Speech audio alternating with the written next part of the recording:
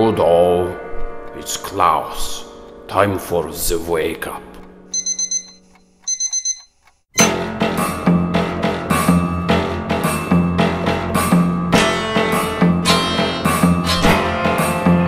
It's Bon Matin with Justin.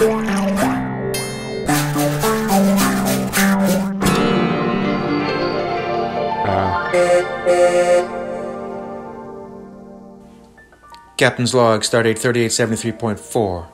A supernova has pulled us into a time warp. Starbase 12 has informed us of a distress signal emanating from Kanata, a corrupt and totalitarian region of old Earth. I've decided to start a Zoom meeting with their leader. Historical Officer Davies has recommended that we leave our cameras off to avoid their communist type facial recognition and surveillance. Please help me welcome to the Canada's Drag Race workroom the Prime Minister of. Hmm. Christian, Mr. Speaker? it's Star Trek wanting to Zoom with me. They were my favorite show. That's right. The first interracial kiss, and they're so diverse and inclusive. I can't wait. Mr. Trudeau, we come in peace.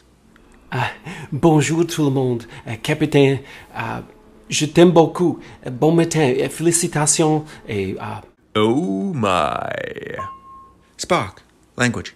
Captain, I believe that is Quebecois French, a dialect formed by Kanata habitants who mostly ate pea soup, poutine, and with spoons engineered polyrhythmic cacophony. Jim, he's frozen from hypothermia. But I thought the Kanata people were immune to the cold. Affirmative, Doctor.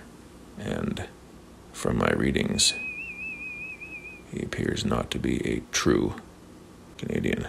Spock, estimate of today's date.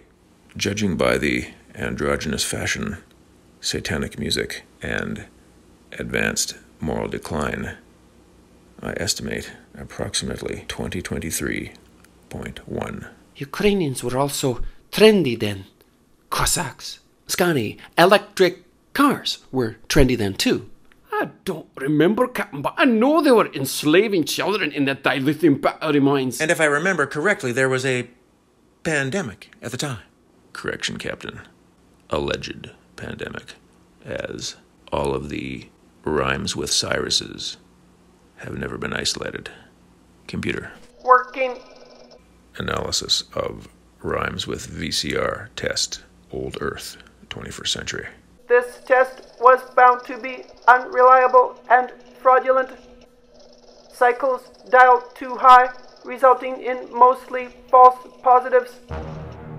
But how? How could they be fooled so easily? Mr. Hengist, you come from the Kanata bloodline. Well, many people do. It's not a crime. Computer. Richard Hengist, great grandson of Mark Hengist, CEO of Dizer, a pharmaceutical company known for the largest genocide in Earth history. Pure fantasy. This has gone far enough. Are we going to chase pharmaceutical ghosts and goblins? We all know the real perpetrator is Mr. Trudeau, sitting right there. Uh, I just want to say, uh, Mr. Spock, that uh, green lives matter. He's a handsome devil, isn't he? And nice socks. Uh, by the way, Mr. Sulu, I appreciate the basic dictatorship of your people. Nice. Captain Picard, we've obviously been thrown into this time warp together. Prepare to beam down and meet us with a landing party of your choice. Make it so, number one. Captain, we are picking up a strange broadcast frequency over Kanata. Almost like a brainwashing propaganda, as though everyone is under a spell. I agree, Captain, and I'm feeling that this Trudeau man has never once uttered a word of honesty in his life. Damn it, Jim. Something's happening to Spock. Uh, massive deception with virology, climate, Ukraine, and transitioning. Jim, if this can happen to Spock's impenetrable Vulcan mind, then this whole planet is f- Captain, Spock. may we please leave orbit immediately? Warp 5, Mr. Sulu, let's get the hell out of here. Uh, bon matin. Ah, Monsieur Trudeau.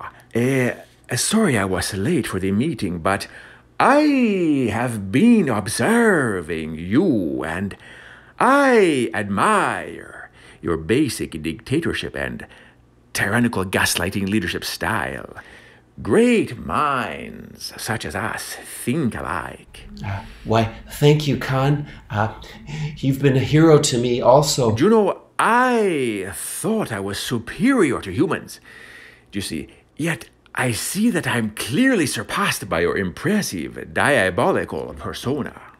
Canadians need a strong leader. Um, they may not need one who's good at multiplying, but I am good at dividing. And yet, you come across as rather wholesome and well intentioned. Well done, my friend. And the way you crush any dissenting voices of your people is sheer mastery. May I uh, take some lessons from you, Monsieur Trudeau? Of course.